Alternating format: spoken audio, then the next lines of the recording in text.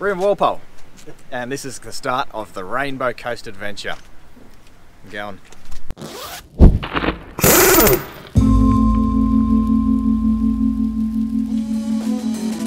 Yep, you heard right, the Rainbow Coast. And opening with this drone shot, you can see where the name came from. Bloody beautiful. Okay, so the Rainbow Coast runs along the south coast from Walpole, through Denmark to Albany. You'll get to see Elephant Rocks, the treetop walk, plenty of sand track four-wheel driving, a bit of cooking, and just general all-round good vibes. So kick back with your pina colada, don't get caught in the rain, because that's just silly, and enjoy this adventure.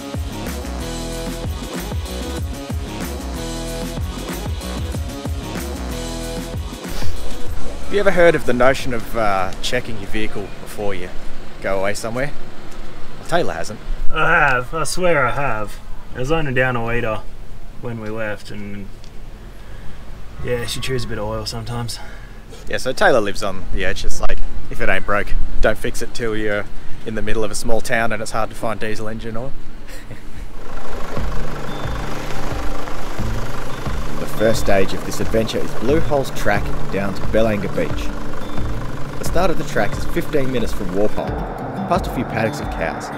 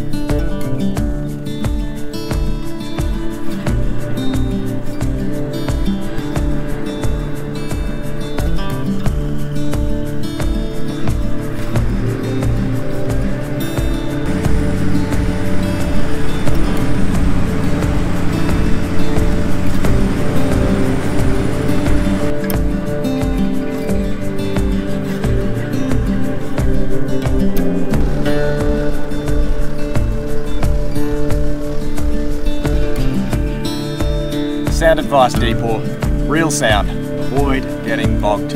Will do. Thanks for the heads up.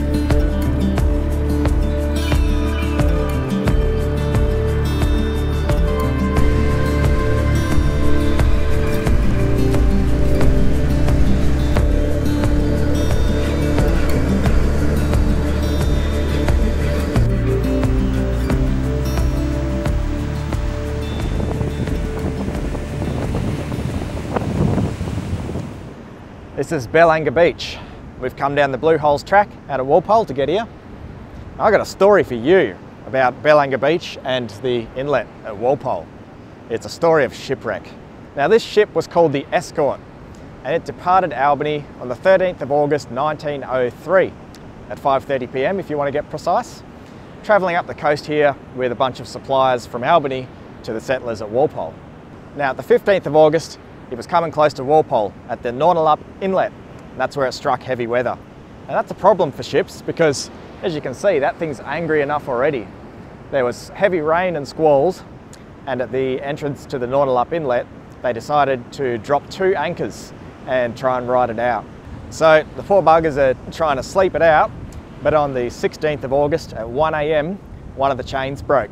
So at this point they thought, oh, damn, we'd, uh, we'd better get into action mode here. So they put a man at the wheel and stood by the engines. Two hours later, at 3 a.m., they lost the other chain for the anchor. And at this point, they're just kind of hopeless in the sea, on the wheel, motors going, just trying to dodge the high seas. Now, the entrance to the Nornalup Inlet, uh, there's a lot of rock, a lot of reef. And these guys rode out the waves, dodging the rock and the reef from 3 a.m. when that second chain broke until 10 a.m. And much to their misfortune, uh, it didn't let up the squalling winds got worse and at that point the captain decided to put the thing to beach. And the reason the captain decided to put it to beach was just to save the lives of the crew. So what a top honest bloke. At 11am they drew the fires. This was a steam powered ship so put the fires out, opened up everything to let it fill and sunk the boat right there on the beach. So they camped out on the beach there overnight and all of them got rescued. So happy ending to the story, but if you're a diver and you want to check out a, a wreck, apparently way over there on the other side of the inlet, you can even still see the, the top of this wreck in between the waves. As the waves swells sort of dip down, you can see the top of it. We didn't mess around on the beach for too long, and the Southern Ocean is bloody freezing, so Taylor is as close as anyone got to a dip. It's time to move on to the next location anyway, so the next stop is Conspicuous Cliffs.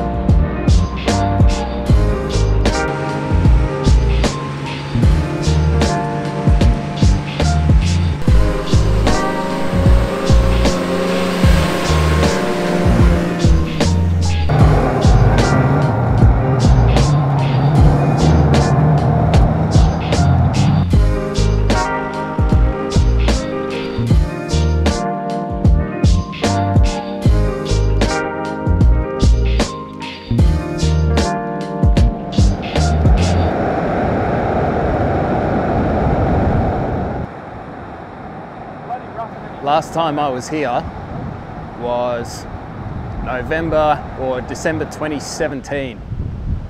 Uh, it was after winter, so the river was going straight out. It didn't really have this big sandbar here. That just goes to show how different the seasons can be. Now we're here just on the edge of summer. Uh, the plants are doing different things. The river is still running surprisingly.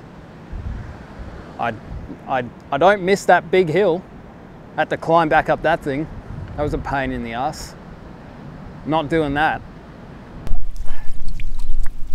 Sure is. Oh, but he's actually okay.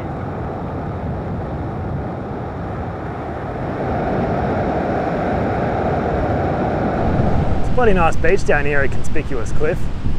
It's a bit wavy, but you know, it's really nice. I don't think I'll go for a swim just yet though. What do I think of Conspicuous Cliff? I'm just happy not to hike up it with 20 kilos on my back. Conspicuous Cliff. Done. Seen. Now we're going to hit the boring old blacktop, but only for eight kilometres. Then we'll be at the Valley of the Giants Treetop Walk. It's quite a commercialised area, but it's worth having a look at. So we'll take you for a walk through there. So the fancy architect that constructed this uh, treetop walk designed it like themed by nature, inspired by the tassel flower and swordgrass. I want whatever he's having. Looks like a bridge to me.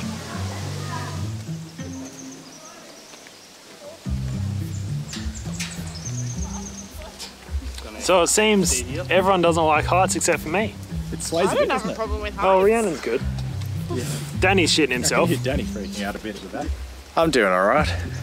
There? Yeah, no, I'm okay. I certainly couldn't climb any of the, the trees. I tried the Gloucester and I crapped myself when I was about two metres up.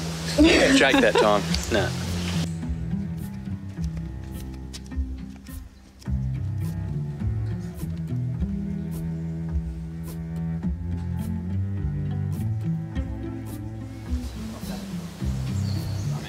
Look at that.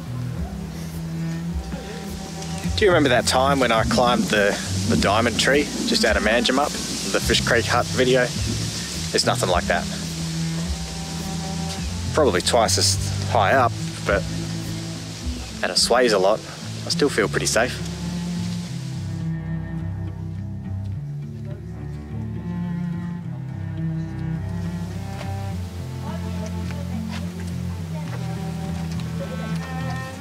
Know, they say this tree is called the tingle for a reason. And now I feel it. Because right now, I'm inside the tingle tree. It's making me feel a little tingle in certain places.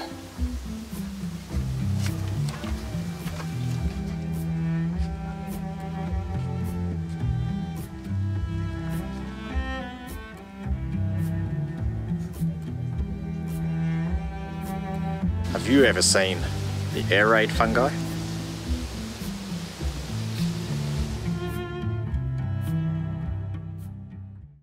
Thirty-eight kilometres from the treetop walk to Parry Beach Road thereabouts, and it's time to hit the dirt again. Noisy out there, the sound of tyres deflating, going down to beach pressures, not messing around. Mate, priorities, eh? His dip o'clock. Don't get between a man and his dip.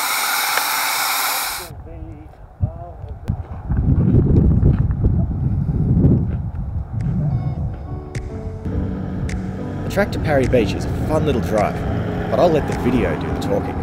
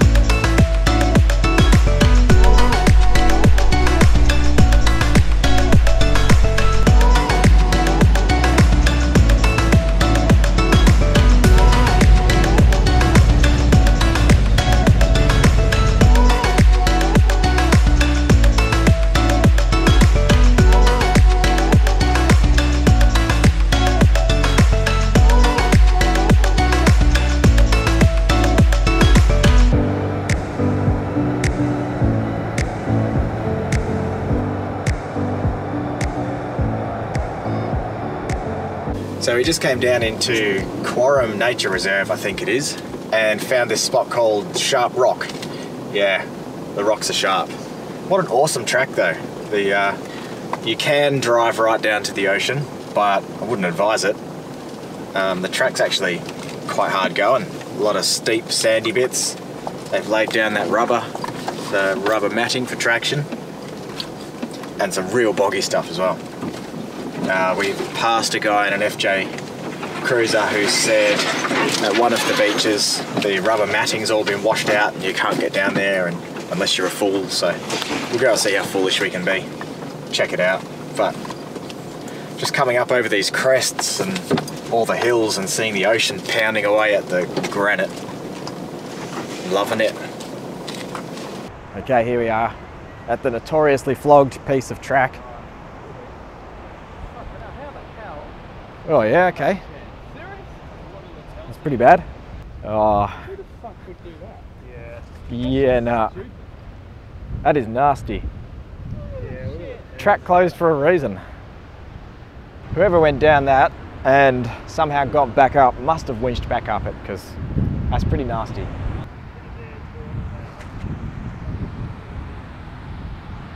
a little bit of a shame, but uh, getting onto the beach isn't, you know, it's not essential to our day's plan. Oh, that's a dried sea cucumber. Ew. So I think we'll head back to the Parry Beach campground and see if we can find somewhere to camp there. Oh damn, it got dark. Anyway, time for a quick meal I reckon, and this one is a chickpea curry, a vegan dish actually, because vegan is healthy. I'm never going vegan. And it's quick and easy as well. So I'm gonna start with the onion. Well, actually I already started by putting the rice on because that bit will take the longest. So rice is boiling away over there and I'm gonna dice an onion.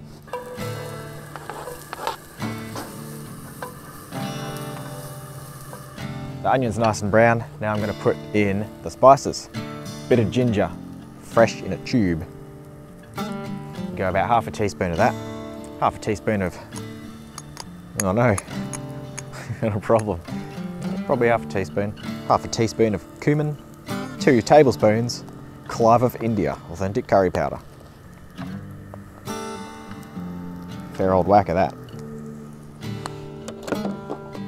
And then quickly dust it around in the pan, let it get aromatic. Oh, that is aromatic. straight up the nostril. Before it burns, add a tin. Ah, Australian gold diced tomatoes. I'm choking. Woo! What a ride. Guess what? Nearly done already. Canned chickpeas. They don't even need to be cooked, so we're just heating them. And that is what I prepared earlier. Four stalks of kale, which I've sort of roughly sliced up. Looking curry-like.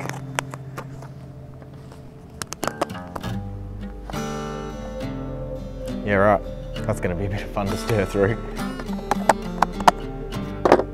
There we go. That's one vegan chickpea curry. One of the easiest things you'll make when you're camping, I reckon. It's the easiest thing I make at home. Healthy too. Probably the healthiest thing you'll eat while you're camping as well. Take it, Jake.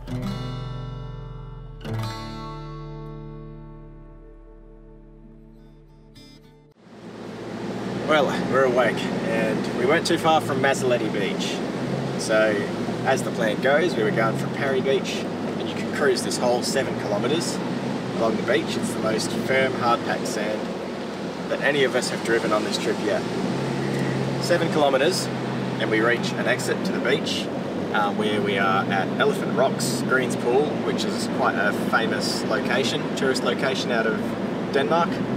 So we're going to set up there and have breakfast. We got on the tracks early and thought it'd be nice to have a bit of brekkie by the pool and have a swim. Time is 7.30.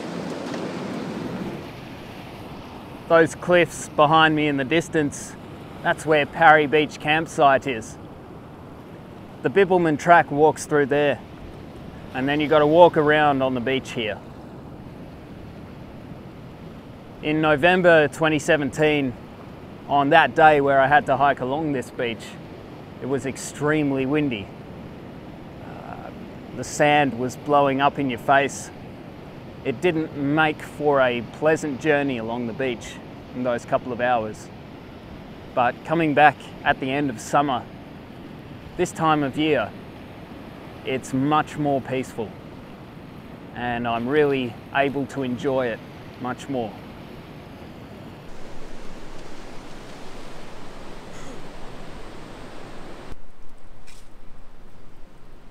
Well, I just thought this morning we'd just cook up some bacon, eggs, sausages, and uh, fry up a few of last night's um, baby potatoes, just as a bit of a wholesome start to the day.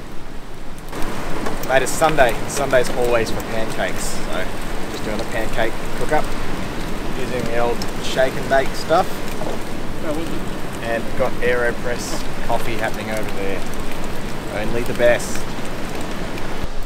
Cooking eggs, but that doesn't look like an egg, does it? Not yet. No. I've just put 12 eggs, whisked, whisked them all up, and put them in a bottle so I don't have to worry about freezing them, or the shells cracking, or egg going everywhere. So easy as pie. Eggs on the single burner on the, on the skillet, on the pan. Just like that.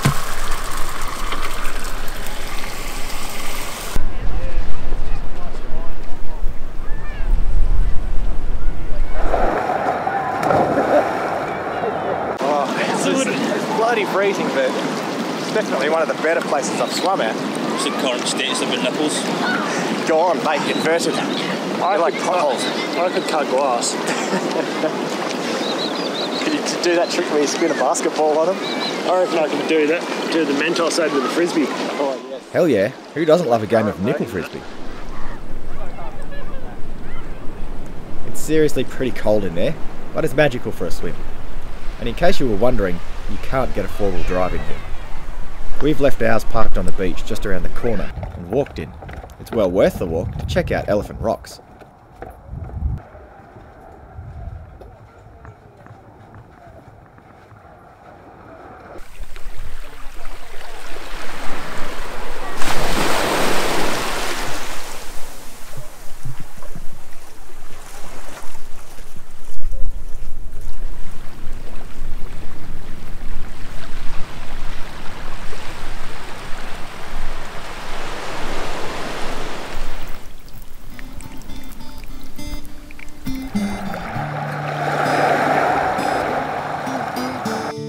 Right now we're at Green's Pool and we need to get over here to the vehicles. Once we're at the vehicles, we've got to go all the way up along Parry Beach, right over to the exit here, where we air up. From Parry Beach, we're off up to the main highway. The highway will take us over to Denmark, all the way over here. As you can see, it's a bit of a drive, and unfortunately, there's no shortcut between Denmark and, as you can see, Green's Pool was kinda right nearby. But hey, 20 minutes is enough for this video, right? I'm sure you've got better things to do. Wash your hair, descale your grey mask kettle, I don't know. Hit that subscribe button and turn your notifications on, because next week comes part 2. Alex rages about a palmy wait. It's the face of a man that's waited an hour for food. And then we head to the southernmost tip of Western Australia. And cook some shit. It's not vegan either, so Isaac Butterfield will be stoked. Oh my god! Hit that like button, and we'll see you there.